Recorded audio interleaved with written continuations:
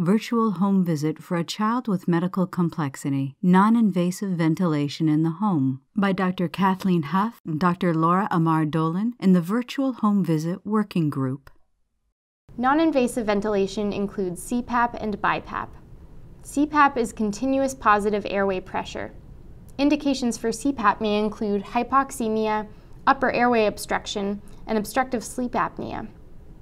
BiPAP is biphasic positive airway pressure. BiPAP is sometimes used for hypoventilation, neuromuscular weakness, or to support in the setting of increased work of breathing. BiPAP delivers two levels of pressure for inhalation and exhalation and may have a backup rate.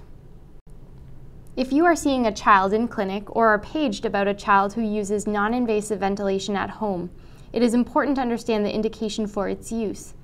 Knowing the indication for CPAP or BiPAP use can guide management, particularly if there are equipment problems.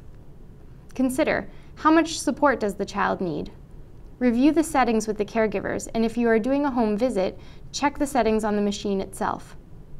Does the child need support all of the time, including in the car or at school? Can they sleep without it if there is a power outage or equipment issue?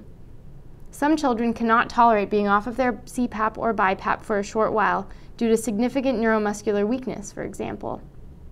The device should have a power failure alarm and a charged backup battery in these cases, and any equipment malfunction must be addressed emergently.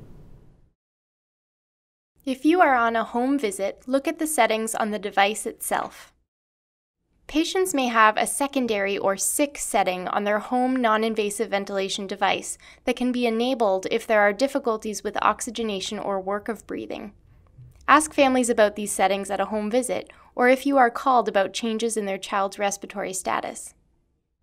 Jack has restrictive lung disease and hypoventilation. He uses BiPAP at night. So, one of the biggest problems is Jack has a super small head. Um, with the profound brain damage, he, he's in this category called microcephaly, so he has a really small head. So masks don't fit his head. Then we don't get a good seal. We don't. It, it, it's terrible, it, and nobody seems to have the right solution.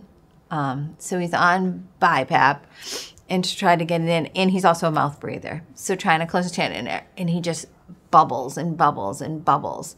So to come out of it, you know, it requires a lot of suctioning. And then when he gets in the groove, he'll, he'll settle in. But we struggle a lot. And we've talked to his pulmonologist, we've had specialists call us, and we still haven't found a, we've tried a, multiple mask solutions, and it's still not 100% where we're at. And then this is something we learned. So if you're dealing with your traditional um, supplier, they don't carry mask samples. They don't have them in inventory. So they're just guessing oh, I think this will work based on it. So they don't get to test it on his head or see if it's going to work right.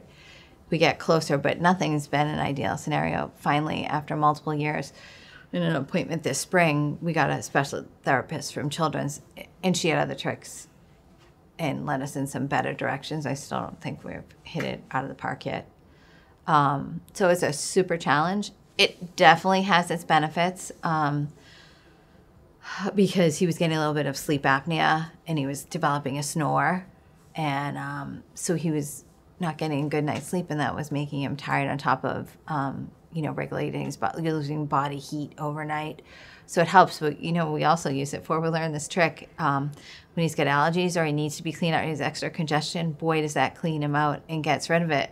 And you got to think outside, we thought outside the box too, because that's what we use it, like we'll use it during the day, because he doesn't need it during the day. Um, it was more for the sleep apnea and uh, the snore and getting a, a better night's sleep. We do definitely struggle with it and him in general because he's just so secretional and he it's like he's blowing bubbles but it's it's he's also a mouth breather. So it, it has its benefits but it has a lot of complications for us. There are many potential challenges that families might face in using non-invasive ventilation in the home Poor adherence is a common cause of treatment failure. This may occur particularly if there is an unpleasant initial experience with CPAP or BiPAP, including if it is poor fitting equipment. A child may develop conditioned anxiety.